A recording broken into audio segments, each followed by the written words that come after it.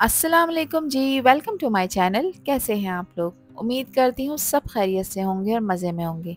आज आप लोगों के साथ शेयर करूँगी सुपर टेस्टी आलू दाल कबाब की रेसिपी ये कबाब जो आलू और दाल के मिक्सर से बनते हैं, अपने क्रिस्पी टेक्सचर और मसालेदार टेस्ट के लिए बहुत ही फ़ेमस हैं। कम बजट में, कम मेहनत में और कम टाइम में अगर कुछ टेस्टी बनाकर खाना चाहते हैं तो आलू दाल कबाब की रेसिपी आप लोगों के लिए बेस्ट चॉइस है। कबाब ना तो टूटेंगे ना ही ऑयल में बिखरेंगे। ऊपर से क्रिस्पी अंदर से सॉफ्ट और मसालेदार से कबाब बहुत ही टेस्टी बनकर तैयार होंगे।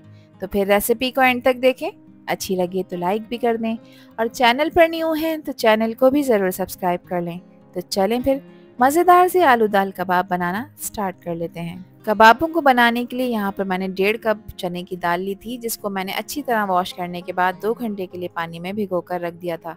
दाल भीगने के बाद साइज़ में डबल हो गई थी तो इसमें मैंने पानी, एक टीस्पून नमक और हाफ़ टी स्पून हल्दी डालकर इसको बॉईल कर लिया था। दाल यहाँ पर 100 परसेंट बॉयल हो चुकी है, जैसा कि आपको वीडियो में नज़र आ रहा है। दाल में किसी तरह की कसर नहीं होनी चाहिए, ये 100 परसेंट बॉयल होनी चाहिए और ना ही आपने इसको बहुत ज़्यादा पकाना है कि दाल का मलीदा निकल जाए। इसी तरह से खड़ी खड़ी दाल आपने बॉयल करनी है। अब दाल को देखिए, मैंने चॉपर में डालकर इसको चॉप कर लिया है और आपने इसको बिल्कुल बारीक पीस लेना है, जैसा कि आपको वीडियो में नज़र आ रहा है। डेढ़ कप चने की दाल में मैं यहाँ पर दो मीडियम साइज़ के आलू इस्तेमाल कर रही हूँ। आलूओं को भी मैंने नमक डालने के बाद बॉईल कर कर रख लिया था। आलू को आप मैश नहीं करिएगा, क्योंकि मैश करने में कहीं ना कहीं गुठली रह जाती है तो इसको मैंने ग्रेटर की मदद से ग्रेट करा है। इसमें कोई चांस ही नहीं होता कि इस फिर कोई गुठली इसमें बाकी रह जाए, क्योंकि हमें एक स्मूथ सा मिक्स चाहिए कबाबों का। तो जितने भी आलू थे मेरे पास, उन सब के पीसेस को मैंने इस तरह से ग्रेट कर लिया था। आपने भी ग्रेट करके ही इसमें ऐड करना है ताकि आपको बेहतरीन रिजल्ट्स मिले। कुछ पाउडर मसाले ऐड कर लेते हैं। एक टीस्पून मैंने इसमें पिसी काली मिर्चें डाली हैं और इसमें शामिल करूँगी एक टीस्पून कुटा हुआ धनिया, जिसको मैंने अभी फ्रेश कूटा है। क्वार्टर टी स्पून मैं इसमें गरम मसाला पाउडर ऐड करूँगी।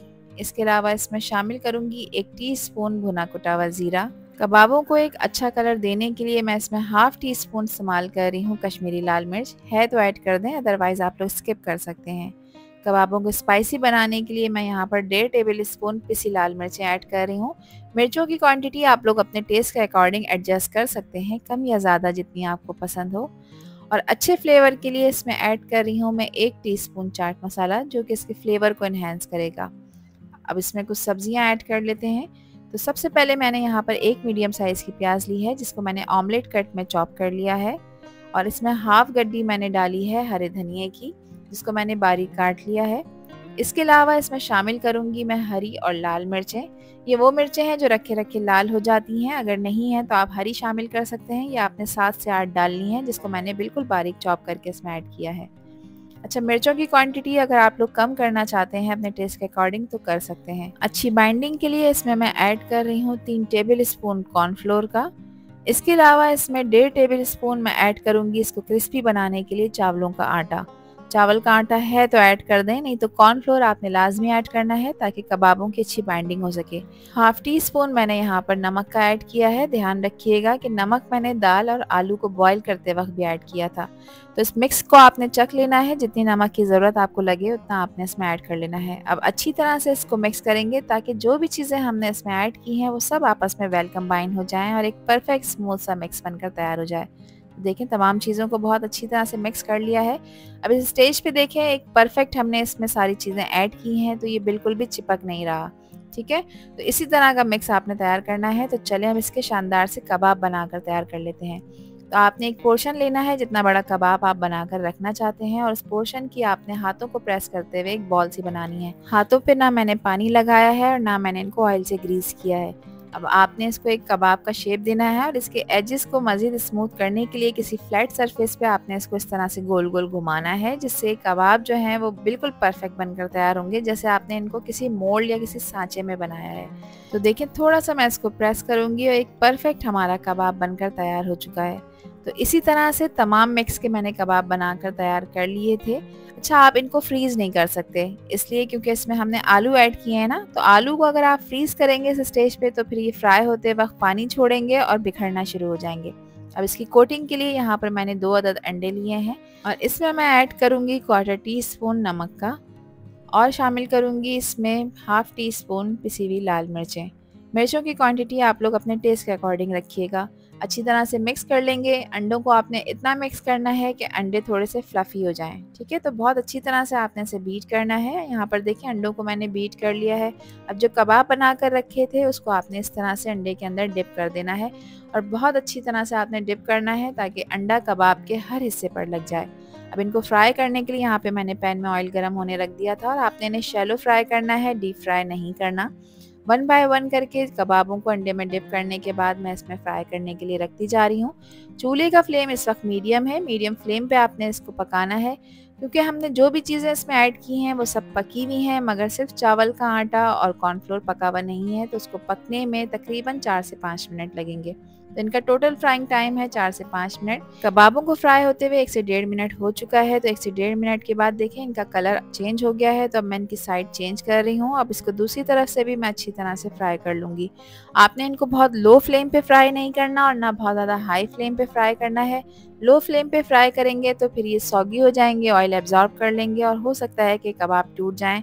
हाई फ्लेम पे अगर आप फ्राई करेंगे तो फिर इनका कलर इतना खूबसूरत नहीं आएगा। तो अल्हम्दुलिल्लाह, कबाब हमारे बहुत अच्छी तरह से फ्राई हो चुके हैं। देखें, एक अच्छा खूबसूरत सा गोल्डन कलर इस पर आ चुका है और आप इसकी लुक चेक करें, कितना खूबसूरत लग रहा है।